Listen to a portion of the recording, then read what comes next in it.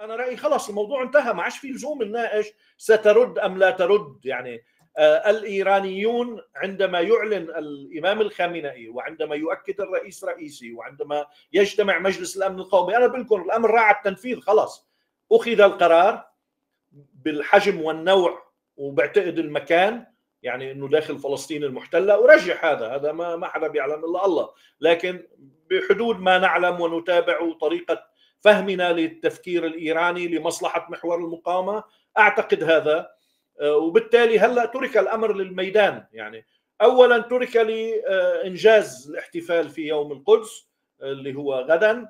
وبرأيي سبت أحد اثنين ثلاثة يعني نحن في هذه الأسبوع الذي يفصلنا عن الموعد القادم لحوار الأسبوع. نحن على موعد مع الضربة الإيرانية. واللي آه، كمان خليني أقول أنا مش مستعجل كثير وأنا ضد الاستعجال لأنه أنا رأيي مفاعيل ما قبل الضربة لا تقل بل ربما تزيد عن الضربة. يعني نحن هلأ قدام إسرائيل واقفة على نص إجر مش على إجر ونص. شو بدي بالمطبلين والمزمرين؟ لاسرائيل واللي راح يقولوا هذا الكلام مبالغة وإسرائيل كذا. إسرائيل مذعورة. شو آه هذا ما مبالغة. لما بتفضى السوبر ماركات وتستدعي أن يخرج الناطق العسكري الرسمي على التلفزيونات يدعو الناس إلى عدم تخزين المؤن. أنتم بتعرفوا شو بيعني هذا الحكي. هذا لا يحدث في أي بلد بالعالم إلا عندما يكون الهلع قد أصاب المجتمع. لما بيقول لا تشتروا مولدات يعني ما بقى في مولدات بالسوق. لما بيقول لا تذهبوا لا ما في خوف ما في الأكل مأمن المي مامنه هذا يعني فضيت السوبر ماركت. وقريبا سوف ترون على وسائل التواصل الفيديوهات بالسوبر ماركات الرفوف الفاضيه والهذا. لما بيقول إنه لا تهرعوا إلى آه، آلات سحب الأموال لأنه ما بقى في كاش يعني الناس سحبت لأنه خايفانة قالت لك بركي هي الضربه تحولت لحرب. إنه إذا زتوا لهم علينا 100 صاروخ الإيرانيين بين تل أبيب وبين جوش دان وبين هذا وردت إسرائيل وردت أمريكا وردت إيران ورحنا. يعني صرنا مثل ما بيقولوا فتافيت سمك ما نقول كلمة أخرى. واضح أن القلق والذعر هو المهيمن. ولذلك أنا رأيي إنه إيه ليش العجلة؟ يعني نحن مش عم نقول لإيران ليش العجلة. نحن ليش نستعجل الإيرانيين؟ أين هو الرد؟ واثقون من أن الرد آتي. واثقون من أن قرار الرد قد اتخذ. خذوا وقتكم. ما يحتاجه تقديركم للموقف أنتم أيها القادة المعنيون بتحديد الرد وموعده ومكانه لا تشعروا بأنكم تحت ضغط رأي عام يقول إذا لم يتم الرد الآن فإنه سيشكك. لا الرأي العام الآن بما فيه لدى الأعداء وخصوصا لدى الأعداء يصدق 100% أن الرد آتي. والرأي العام المشكك خرس. اختفت أصواته. والرأي العام المؤيد مؤيد. يريد للرد فعالية. فإذا كان ثمة فعالية في الوقت الذي يفصل عن الرد فاستثمروها. بنتقل هلأ لمجموعه أسئلة سريعة في الحقيقة يعني أو أجوبة سريعة على أسئلة لحتى يعني نستفيد من الوقت الباقي.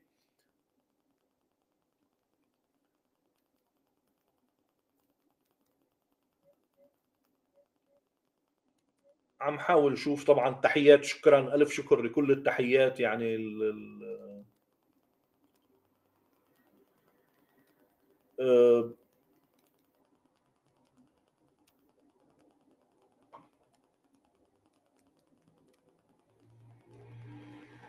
في طبعا سؤال عن إنه هل هناك إمكانية لأن يؤدي الرد الإيراني إلى اندلاع حرب؟ برأيي سؤال وجيه. يعني.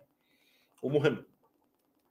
هون اسمحوا لي شوي لأنه برأيي هذا يعني أنا أصلا كنت ناوي أحكي فيه لكن أنا ما بدي أفرض يعني ما بذهني على ما تفكرون به. لذلك أنا أخذت يعني من الأسئلة من التعليقات القضايا اللي تناولتها. والآن يعني بما أن هناك حتى في حدا سائل إنه ممكن نكون قدام آه، سلاح نووي. لا أكيد ما في سلاح نووي. لما حكي وزير التراث الإسرائيلي بموضوع السلاح النووي فورا الأمريكان قالوا له لنتنياهو سد له نيعه لهذا الروس بيسمعوه بيروحوا هن بيستعملوا سلاح النووي على أوكرانيا وأنتم مش أنتم أصلا ما بتقدروا تستعملوه ما عندكم عمق جغرافي يعني لاستخدام سلاح نووي. إنه هالقد المدى يعني عرض فلسطين المحتل وطولها لا يتسع أصلا لأن تستخدم سلاح نووي في أي بقعة جوار وأنتم معارككم مع الجوار يعني على كل حال. لكن أن تؤدي إلى حرب. خلونا بالأول نحط الغارة هي وين. واضح إنه الإسرائيلي مخنوق. شو مخنوق؟ جبهة لبنان وجبهة غزة وجبهة البحر جبهة لبنان وغزة بالنسبة للإسرائيلي خلينا نقول جبهة البحر الأحمر بالنسبة للأمريكي. لبنان وغزة حطوا الإسرائيلي قدام معادلة قوة الردع تبهدلت. إنه بلبنان وين قوة الردع؟ ليتجرأ حزب الله بيفتح الجبهة بدون ما تكون أنت عامل عملية آه، بيوسع بدون ما تكون أنت وسعت بيغمق بدون ما تكون أنت غمقت آه، بيعلي أنواع السلاح بدون ما تكون أنت عليت. طيب وين قوة الردع؟ وين قواعد الاشتباك؟ عم بحكي في الأيام الأولى أنا ما عم يعني في كل مرة كانت النقلة تحدث كانت تحدث بمبادرة من حزب الله. طيب اجى الإسرائيلي يقول بعوض عن هالشيء مثل مثل اغتيال الشيخ صالح العاروري مثل بضرب بعلبك ما ما ما قدر يعيد قدرة الردع. يعني يخلي حزب الله يتراجع. وخلق له حزب الله مشكلة. إذا حطينا جانبا كل التداعيات المترتبة على حرب جنوب لبنان. يعني موضوع تجميد قوات مسلحة إصابتها آه، المرابط المدفعية شبكات الباتريوت استنزافها. في مشكلة أكبر هي المستوطنين. إنه كبل له 100000 بخلقته نحن معودين بنهجر وبنجي وبنبقى وبنروح وتهجيرنا غير تهجيرهم. يعني إنه الناس العيلة اللي عندها أطفال وهذا بتفضي آه، العيلة اللي عندها إمكانية بتروح وبترجع. طلعوا على الشريط الحدودي أنتم آه، جمعة سبت أحد بتلاقوا كأنه ما في حرب. يعني إنه الناس بعدها بتطلع مثل ما كانت تطلع في الأيام العادية. هذا خصوصيتنا. هن لا. في نزوح وعلى قاعدة البعض يتحدث عن السفر والهجرة إنه خلص ما بقى ينعاش بهالكيان. فهذه معضلة وحزب الله حاطه بين واحد من اثنين. يا بتروح على الحرب الكبرى إذا مش هالقد قبضاي يا روح وقف العدوان على غزة وما في لزوم تطلب مني شيء ولا أطلب منك شيء ما بدي ثمن أصلا. وقف عدوانك على غزة ينتهي الموضوع هنا. طيب فهو قدام معضلة. حرب كبرى ما قادر يروح عليها. والوقف العدوان كلفته عالية إعلان هزيمة. غزة شو عملت له؟ عملت له قصة مشابهة. في الأسرى وفي القتال والخسائر. لا قادر يروح على حرب كبرى ولا قادر يروح على وقف العدوان. شو اختار الإسرائيلي؟ اختار الإسرائيلي أنه اللعبة مع إيران بتشرك أمريكا تحت شعار منع التدهور. مش ما في هذا نظرية نتنياهو بورط أمريكا بحرب وإلى آخره وكذا شيلوها. نتنياهو أتخن راس بإسرائيل لا يجرؤ على لا يملك أصلا القدرة على اتخاذ قرار عمليات يورط أمريكا فيه. هو صنيعة أمريكية هو برغي في المكنة الأمريكية. هلأ بشطحة قلم من رئيس أمريكا توقف الحرب. ما يضحكوا علينا وما حدا يلعب لنا بعقلاتنا. وانه مختلفين بس من... لا إيه هاي الاختلاف مريح اثنين. هذا اختلاف عم بيربح بايدن أمام الشارع الأمريكي. إنه عم بيقول أنا عم بضغط عليه وأنا عم صرخ عليه وأنا عم عيط عليه وأنا عم له ما بيقبل وما بسمح وهذا. ونتنياهو عم بيقول لهم للإسرائيليين أنا اللي ما برد على حدا أنا اللي مدافع عن هوية إسرائيل المستقلة هي المعارضة عميلة عند أمريكا. اثنين كسبانين. بس إذا جوزيف بوريل عم بيقول إنه يا بايدن ما تضحك علينا أنت بدك تنصحه لنتنياهو؟ بدك تقول له please هيك عمل هو. إذا بتريد وقف له شوية سلاح وذخيرة. إيه بعده امبارح أعطيه 35 طيارة F 35 5 25 طيارة إف 35 وذخائر 3000 رطل القنبلة وإلى آخره. اللي عم بيضرب فيهم بغزة وبدمر المربعات السكنية. عمين عم يكذب. لكن نتنياهو بيعرف إنه الملف الإيراني هو ملف سياسي وبالتالي التصعيد بين إسرائيل وإيران بده يؤدي إلى يعني التدخل الأمريكي السياسي التفاوضي للما يعني ملفات أوسع مدى من غزة. فبيضيع التنازل الذي يجب تقديمه في غزة بقلب سلة. اسمها آه، حلول أمنية سياسية لملفات المنطقة منع التدهور نحو حرب كبرى. وبالتالي إنه هذا بجيب الروس وبجيب الصين وخلينا نتصعد. ولذلك أنا بقول الرد الإيراني أرجح ردا اسرائيليا عليه وأرجح ردا على الرد. يعني هذا الصعود على السلم بالنسبة لنتنياهو قد يكون المخرج للوصول إلى يعني صناعة تسوية هو فيها حد إيران وحد أمريكا وحد كذا فبالتالي هو مش إنه انهزم أمام حماس وانكسرت رقبته أمام حزب الله هذه هي المعادلة التي أرادها. طبعا في سياق هذه المعادلة في أهداف تكتيكية. الأهداف التكتيكية هي الظهور بمظهر قوة الردع إعادة ترميمها إنه أنا بتجاوز قواعد الاشتباك. ما في حصانة للقنصليات والسفارات والمؤسسات الدبلوماسية. أنا ما بتفرق معي ما بعمل حساب لشيء أنا بضرب أنا ما بهاب شيء. وبالتالي آه، خلق هذه الصورة للقوي التي تزعزعت أركانها في الطوفان واهتزت في آه، جنوب لبنان بحاول إعادة إنتاجها. ثم بالإضافة إلى هذا بيأكل من ماء وجه محور المقاومة وعلى رأسه إيران إنه إصابة بالغة ما بتغير قواعد الموازين. إيه ما بتغير ما بترجع مستوطني الشمال وما بتطلع الأسرى من غزة وما بترد قوة الردع في جنوب لبنان وما بترد لأنه ما بتنهي سلاح المقاومة يعني وما بتنهي وجود المقاومة في غزة وما تلحقه بإسرائيل. لكن الناس مش شغلة التحليل الناس قدامها صورة. وفي هذه الصورة هذا النوع من الأعمال وهون بدي جاوب على سؤال بالطريق على الموضوع الأمني.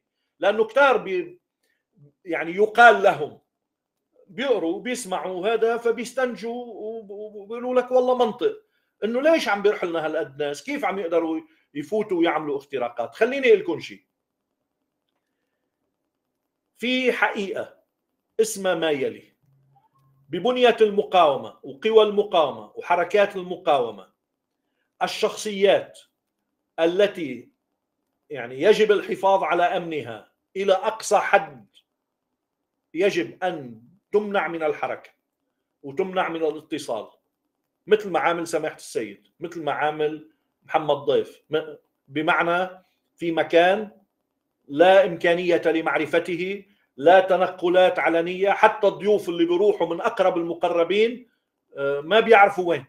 بينعمل ألف طريقة وطريقة أمنيا لحتى ما يعرفوا وين ويتنقلوا من سيارة لسيارة ومن ملجأ لملجأ ومن طريق لطريق.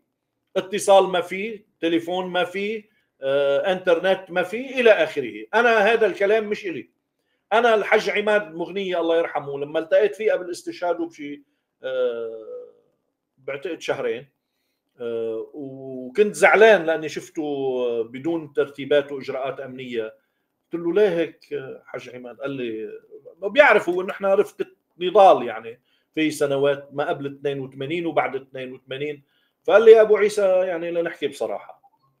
إذا بدنا نجهز ونستعد بسرعة أنا لازم روح وإشي. ولازم أتنقل ولازم هذا ولازم أحمل تليفون ولازم أتصل ولازم بغير التليفون بكب تليفون بجيب تليفون. لكن في نهاية المطاف أنت عندما تكون متصل عندما تكون متنقل عندما تكون آه، متحرك فأنت قدام مين تتحرك؟ بصمة الصوت بصمة العين. بدك تمرق بمطارات؟ مثلا يقال إنه بإحدى الدول العربية إحدى مطارات الدول العربية تم التعرف على صورة وجه للحج عماد لم تكن موجودة من خلال بصمة العين.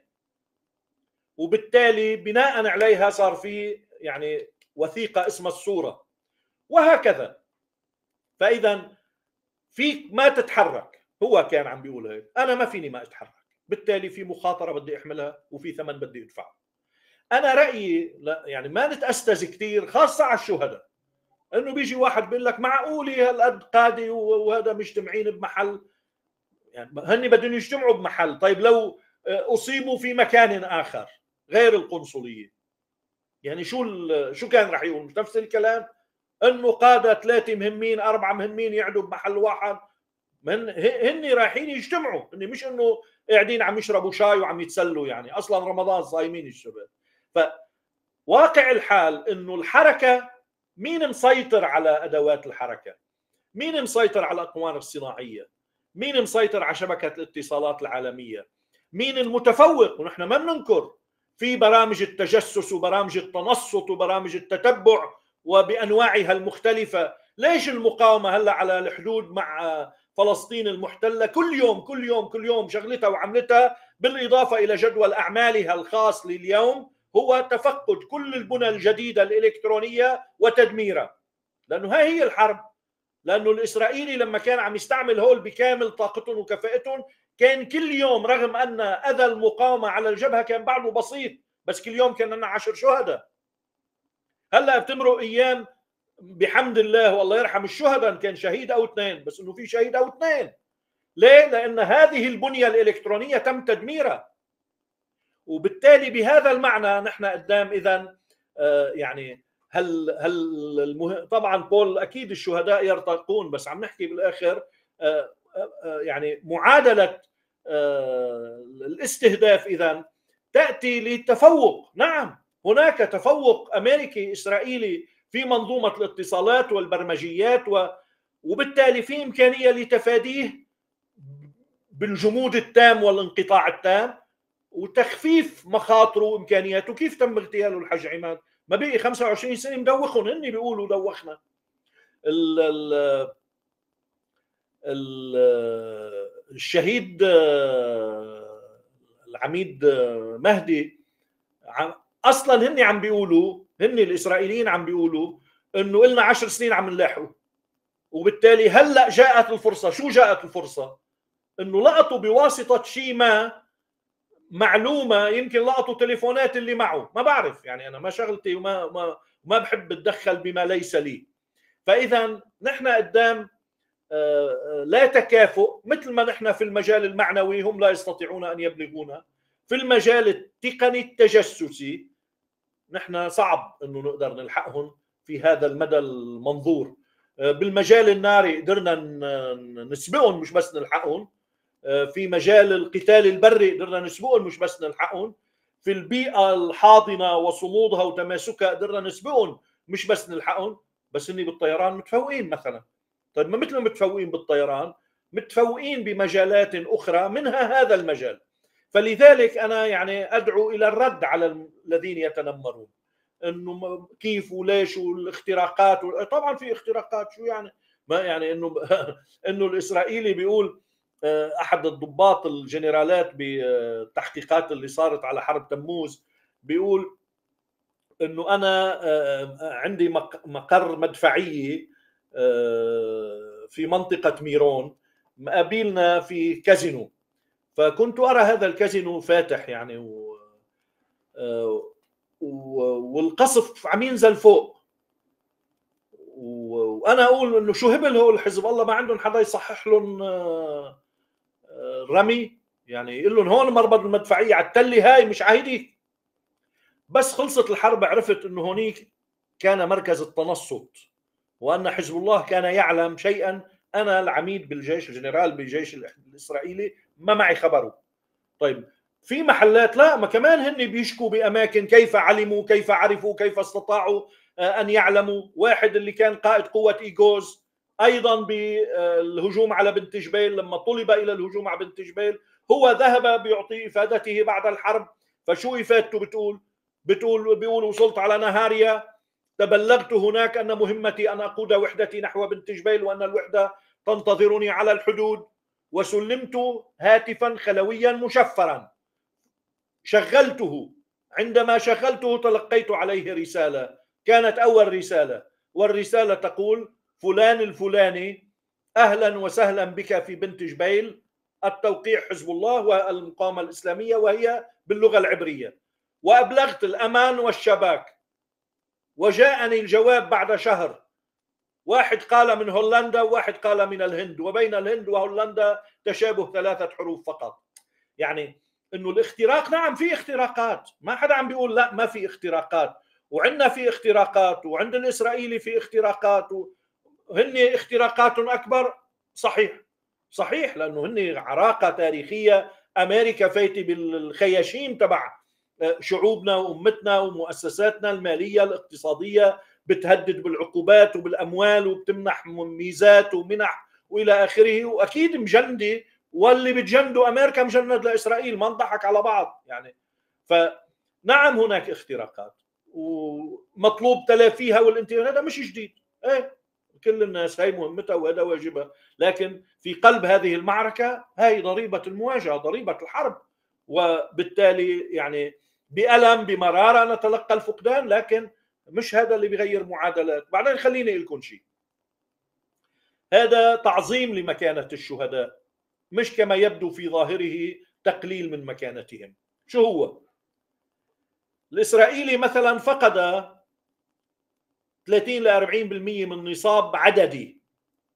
في بنية ألوية النخبة جولاني وغيره اضطر يسحبهم من الجبهة لأنه ما فيك تقاتل بلواء مكرسح. المقاومة تخسر قادة. البعض بيفكر أنه خسرانها للقادة سيؤثر على أدائها سيضعف قدرتها. أنا ما رح أعطيكم تحليل أنا رح لكم بالتجربة الحسية الملموسة.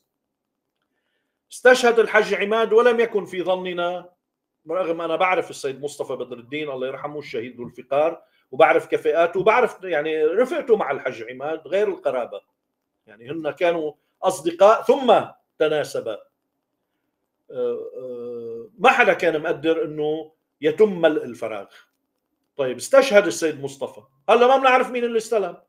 لكن معركة سوريا التي أكملت وحقق النصر فيها بعد استشهاد السيد مصطفى. ثم معركة الجنوب التي تدار الآن. نحن إنه نفتقد للحج عماد وللسيد مصطفى قطعا. بس بالمعنى العسكري هل نشعر بأننا الآن هذه مقاومة كسيحة؟ على الإطلاق هي بكامل قيافتها ولياقتها وأدائها وجديتها. طيب محور المقاومة. الركن العسكري المؤسس فيه الحج قاسم سليماني. أكبر مهمة عسكرية نفذها المحور.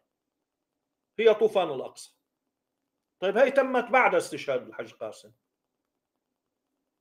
طيب المقاومة العراقية. أعظم عمل قامت فيه المقاومة العراقية سواء بالعمليات على القواعد الأمريكية أو بالاستهدافات للعمق الإسرائيلي بالاعتراف الإسرائيلي نفسه. آخر إيلات يعني أم الرشراش بعد استشهاد أبو مهدي المهندس. هذا مش لأنه يعني بغيابهم صرنا أقوى. لا الشهادة. الشهادة عندنا شيء آخر. هي قوة دفع. هي تحدي معنوي للذين يتحملون المسؤولية ويحملون الوصية. بأن يكونوا أوفياء مخلصين يقولوا لهؤلاء لأرواحهم لقد قمنا بتنفيذ الوصية لقد حملنا المسؤولية. وبالتالي عم عم نلاقي إنه نحن قدام مشهد استشهاد القادة بيترك ألم بيترك مرارة لكن فورا نجد أن عود المقاومة يصلب ويشتد وبيحقق إنجازات. وبالتالي نعم حرام نخسرهم نحن بهم أقوى لكن نحن بهم أحياء وشهداء أقوى. وهم شهداء هم أحياء عند ربهم يرزقون لكنكم لا تعلمون.